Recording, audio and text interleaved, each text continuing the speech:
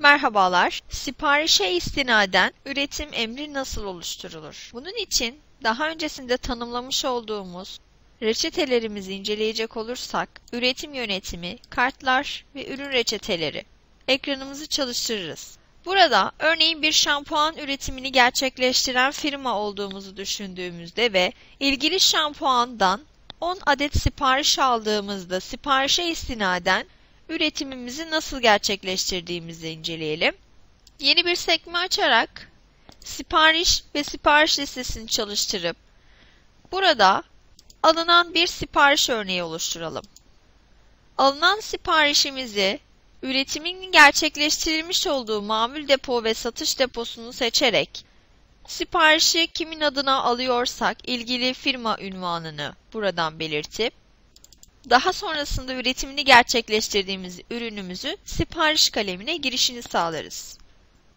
Açılan listede stok malzeme listesi içerisinden şampuanımızı filtreler. Bu filtre sonrasında siparişini almış olduğumuz şampuanımızı seçip ve siparişimize istinaden miktarımızı girerek varsa teslimat tarihimizi oluşturup devam ettiğimizde bir birim fiyat girerek bu şekilde siparişimizi ilk aşamada kabul edildi olarak sisteme kaydederiz.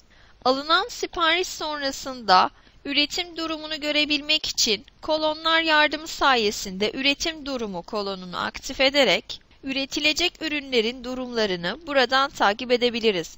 Örneğin bir siparişimizin üretim durumu devam ediyor durumunda olduğunu görmekteyiz. Devam ettiğimizde oluşturmuş olduğumuz siparişimizin kabul durumu sonrası F12'den üretim emirlerini hazırla seçeneği ile siparişimizdeki kalemin eğer içeride bir reçetesi var ise reçeteye istinaden karşımıza alt kalemlerini getirir ve buna istinaden miktarımızı siparişteki gibi alıp sipariş kalemi kısmından ise kalem numarasını getirdiği alan karşımıza gelecektir.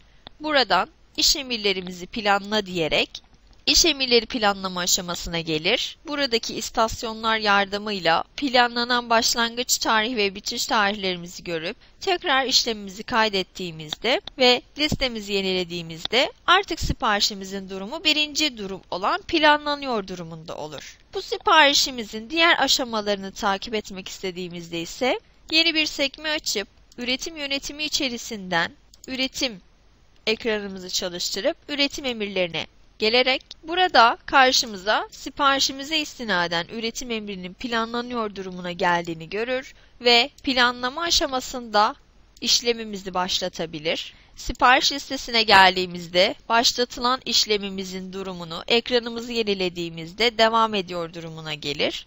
Üretim emirlerine tekrar gelip burada devam ediyor durumundaki siparişimizi tamamlandı aşamasına getirdiğimizde miktarlarımızın ana gerçekleşene göre güncellensin mi sorusuna herhangi bir miktar giriş yapmadığımız için bu soruya hayır diyerek planlanan miktarlarımızın gerçekleşende olduğunu görür ve işlemimizi tamamladığımızda üretim işlemi artık tamamlanmış olur. Sipariş listesinde ise bunun durumunu tekrar listemizi yenilediğimizde tamamlandı olarak görür ve gerekli sevkiyat işlemlerini F12'den sevk et mal kabul işlemiyle sağlayabiliriz.